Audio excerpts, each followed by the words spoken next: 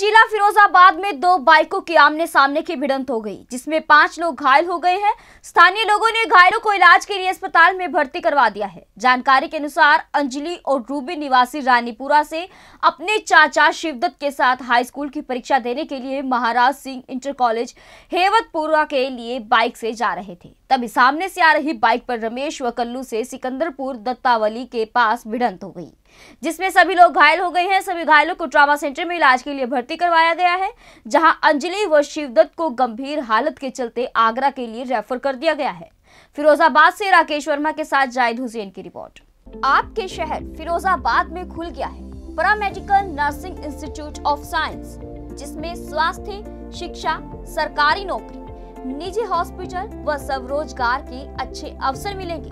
तो आज ही आइए और लीजिए दाखिला paramedical nursing institute of science में।